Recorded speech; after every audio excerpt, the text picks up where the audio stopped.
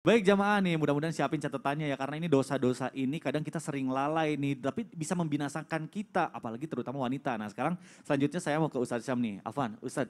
Siap, apa nah, tuh? tadi kan Habib sudah menjelaskan tentang perawatan-perawatan kecantikan yang dilarang oleh Islam. Nah ini Baik. selanjutnya sekarang saya ada pertanyaan nih, Ustadz.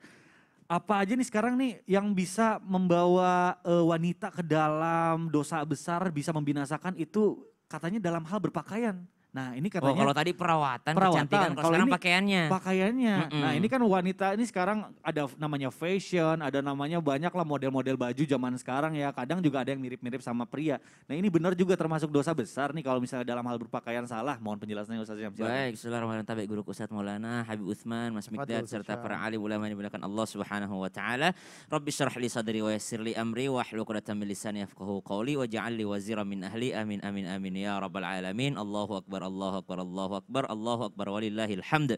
Maka subhanallah dikatakan tadi eh, oleh Habib perawatannya, maka perawatannya harus mengetahui mana yang halal, mana yang haram. Kemudian di segmen sebelumnya kita membahas sedikit tentang aurat, kemudian kita membahas juga tentang izin, kita membahas juga tentang bagaimana kita menjaga diri kita. Maka selanjutnya adalah bukan hanya dalam hal perawatan wajah, namun ternyata eh, an Abi Hurairah radhiyallahu anhu qala Abi Hurairah radhiyallahu an berkata bahwasanya la'ana Rasulullah sallallahu alaihi wasallam. Rasulullah sallallahu alaihi wasallam melaknat siapa itu ar-rajula yalbasu libasatal mar'ah, seorang laki-laki yang berpakaian dengan pakaian wanita. Al-mar'ata talbasu libasatar rajul dan juga seorang perempuan yang berpakaian dengan pakaian pria. Kemudian di hadis yang lain disebutkan juga Rasulullah Shallallahu Alaihi Wasallam sangat membenci atau melaknat daripada orang-orang yang mutasyabih, eh, orang-orang yang menyerupai. Artinya laki-laki yang menyerupai wanita dan wanita yang menyerupai daripada pakaian laki-laki. Dalam rinciannya tidak disebutkan apanya gitu. Tapi didukung dengan pendapat-pendapat bahwasanya ternyata yang disebutkan adalah pakaiannya, kemudian gayanya, kemudian bagaimana dia melakukannya, eh, kemudian ap- apa pun yang terjadi di negeri tersebut. Karena ternyata kalau kita bicara pakaian laki-laki dan wanita, hanya sedikit yang dikhususkan untuk laki-laki dan dikhususkan untuk perempuan. Misalnya di, eh, dikhususkan bagi laki-laki peci. Maka tidak boleh seorang wanita memakai peci dengan tujuan menipu orang bahwa dia adalah laki-laki.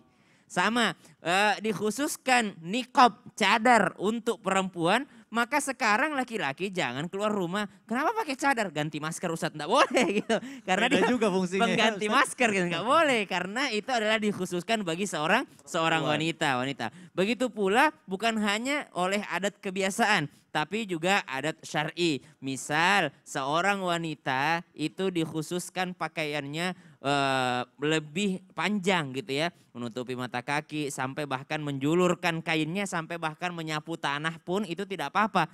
Tapi laki-laki sebaliknya di atas daripada mata kakinya. kaki. Maka kalau ini sudah termasuk daripada tasyabuh, kalau menyerupai maka ini yang dilaknat oleh baginda Nabi Shallallahu Alaihi Wasallam.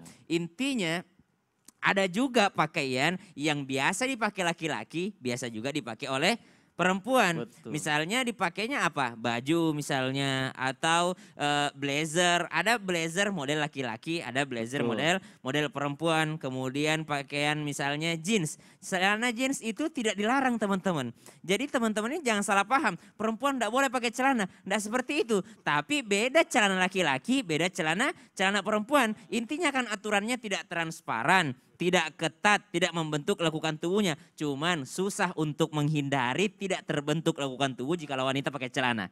Susah, akan terlihat daripada lekukan pahanya, akan terlihat daripada lekukan lututnya. Intinya Betul, tidak betul. boleh menyerupai daripada gayanya, kemudian Betul. daripada pakaiannya. Allah Betul, taala. ah, alam. Masya Allah. Nah yang penting kita tahu syarat-syaratnya dulu ya. Gak boleh terlihat lekukannya, gak boleh Iya. transparan. Nah makanya kita cari bahan-bahan yang lebih aman ya. Masya Betul. Allah luar biasa. Yang perlu digarisbawahi menyerupainya itu sampai orang-orang mengira dia adalah laki-laki Nah kalau dia itu perempuan. dia. Atau orang mengira dia adalah perempuan padahal dia laki-laki. Wah besar, Waduh. rambutnya nih keren eh, halus banget panjang gitu nah itu Betul, laki-laki juga ya hati-hati kalau udah terlalu panjang. Coba dipikir-pikir saya dari jauh dikiranya cewek apa cowok gitu. Nah ini penting nih.